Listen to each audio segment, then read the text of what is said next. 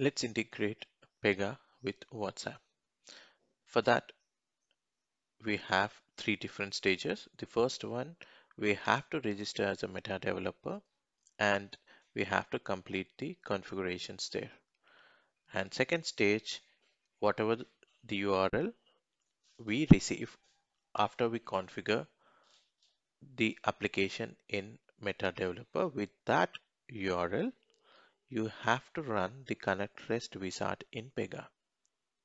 So after the connect rest wizard is done, you'll have a data page created and that data page will use in the case type to send a message. So we do have three different stages here. So first one, register as Meta developer, you need to have a Facebook account. And after you have your Facebook ID and password, log into developers.facebook.com. So here in the browser, I have provided developers.facebook.com. Here we do have the My Apps tab over here. So click on that. So you'll get this screen. So Meta for developers and apps. So here we do have a button to create a new application. Click on that, create new app, select business. So here we do have business, select this, scroll down and click next. So on the next screen here, you have to provide the app name. So I'm giving here as Pega integration. And once you provide the name and so here you will have your Gmail ID and then click on create app. Once you click on create app, it will ask for the password and you will have all these options. So basically uh, Facebook is providing different APIs to integrate with its application. Say we have here Instagram API, Messenger API to integrate with that particular applications. So at the if you scroll down at the bottom of the screen, we do have the WhatsApp integration. Click on setup. Okay. So here create a business account. Click continue. So here in the next screen, we do have start using API. Click on that. So basically here in the screen, you'll have your temporary access token and your phone ID and you'll have your uh, what we say the URL where you have to integrate and your authorization bearer token. Okay. So first what you have to do is you have to click on two and click on manage phone numbers list. And here you have to provide your WhatsApp number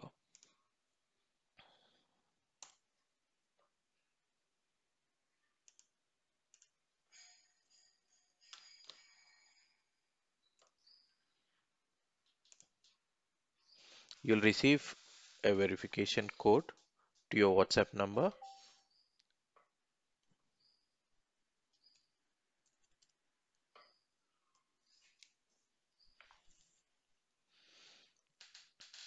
And here we have send message. So when we click on this, there would be a message sent. That's that would be a test message. You'll receive a message from this number confirming. So just uh, reply anything so that it would be confirmed.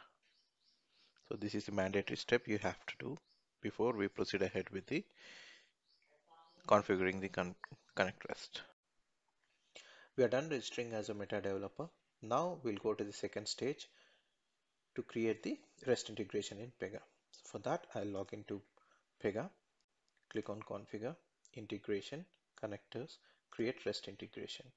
Here we have to provide the name. So I'll provide as WhatsApp integration and we have to provide the endpoint URL over here. So where do we get the endpoint URL? So in uh, developers facebook.com portal, we do have this uh, section over here at the bottom of the screen, copy it and paste it in the notepad. And here we do have the endpoint URL. Copy this endpoint URL, go to Pega Dev Studio and place the endpoint URL over here. And in the endpoint URL, we do have the phone ID. So if we go to portal, here we do have the phone number ID, so which is hard coded into the endpoint URL. So instead, we can make it as a resource parameter. So I'll give it as phone ID. So I can pass the phone ID dynamically. And we have to pass the header. If we go back to the same message, we do have the authorization here and we do have the bearer token provided by the Facebook. So copy this authorization and paste it over here in the headers. Click next and provide any of the resource name over here. So I'll give it as WhatsApp integration post. Okay, and we'll be using the post method over here. Click next and add the REST response over here because based on the response, the classes and the data model will get created. Here we do have the phone ID. So where do we get the phone ID from? Go to uh, developers.facebook.com and here we do have the phone ID. Copy this phone ID and paste it over here. And go to the notepad. In the authorization we do have the bearer token here. Copy the bearer token and come here and paste it over here in the authorization field. Now we have the request. We have to pass the JSON request over here so I have framed the JSON request. So this would be the JSON request. Messaging product recipient type 2 2 is the phone number which you have added in the developers.facebook.com so here we have added this phone number. So the same phone number we have to provide in the request. So we can give any other phone numbers. However we have to add it in the phone numbers list. So from here whatever the phone numbers we have added here only to those numbers we can send the whatsapp message. So currently i have added only one. So i'll move back to dev studio copy the request message over here and paste it over here. And then I'll click on run. So here I have clicked on run and I have received the response. So I'll copy the response here and I'll paste it somewhere else and click on submit click on next which will have this integration classes and data layer which will be created automatically. I'll click on create. So in the backend, Pega will create all the rules and here we'll complete the integration part, creating the integration by using the endpoint URL provided by the Facebook. Now let's move to the uh, last stage configuring the data page in case type. So we have done registering as a meta developer. We are done uh, creating the REST integration in Pega by using the REST integration wizard. And now we are going to configure the data page. Move to Dev Studio. So this is the D, uh, we have which got created uh, by using the wizard and these are the classes which got created. So here I'll open the request data transform.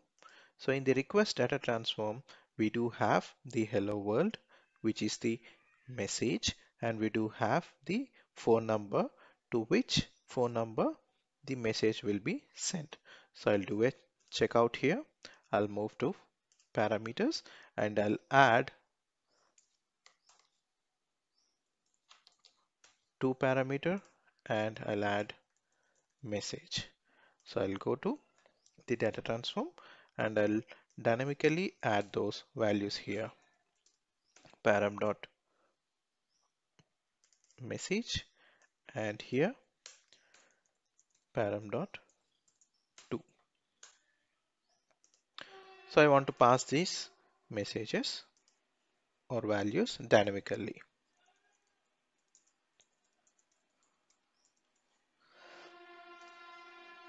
So the same, I'll do a checkout here. I'll go to parameters. I'll add to and I'll add message. And here I'll give the default value of phone ID so what we have over here. So I'll copy this and I'll provide the default value. Okay. And parameters. So I'll pass the parameters dynamically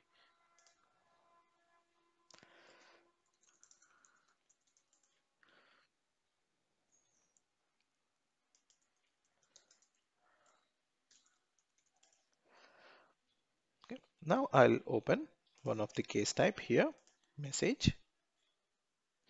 And I'll open the flow action.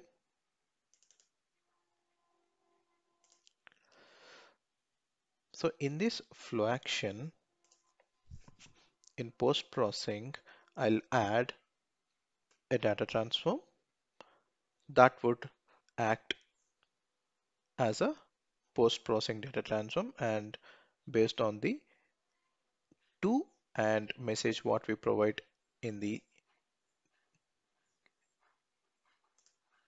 message case type that would be sent as a message. So I've created a case type message. So here I have to and text message. So here I would provide the phone number and I would provide the message. So based on the dynamic values provided here and when I click on create, so those would be sent as a message to the WhatsApp.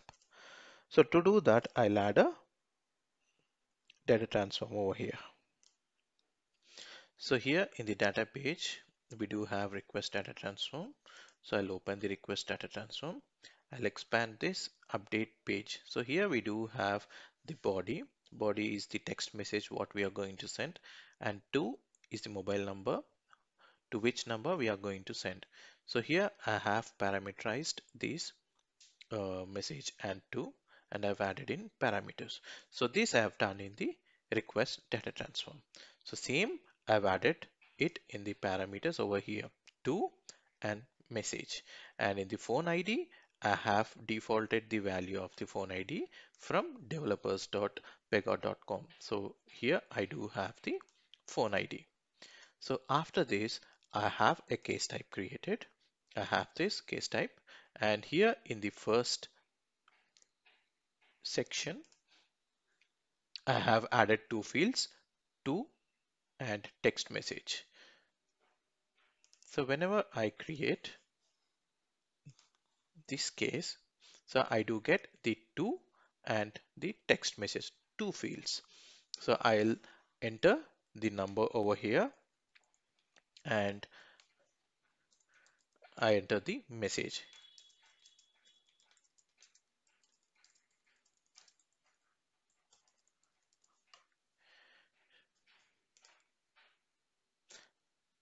So in the post processing of the flow action, I have created a data transform where I'm calling this data page. So from here, the message would be sent dynamically to the WhatsApp. And here is the message which we have received in the WhatsApp. So from where have we received? We have received it from the Pega application. So basically we can even send messages to other phone numbers. However, they have to be listed over here. So click here, manage phone numbers list and keep on adding the phone numbers to the phone numbers which we have added here. Only to those numbers we, we will be able to send the messages at the moment.